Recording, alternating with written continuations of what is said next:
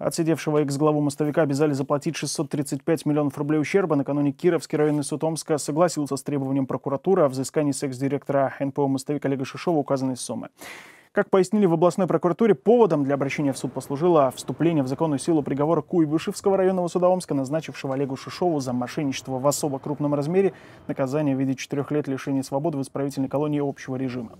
Согласно материалам дела, Шишов а, в 2009-2012 годах внес в финансовые документы мостовика и налоговой декларации заведомо ложные сведения о выполнении рядом организаций контрагентов строительно-монтажных работ на объектах, расположенных в Омске, Владивостоке и ряде других городов, отразив их в составе налоговой налоговых вычетов.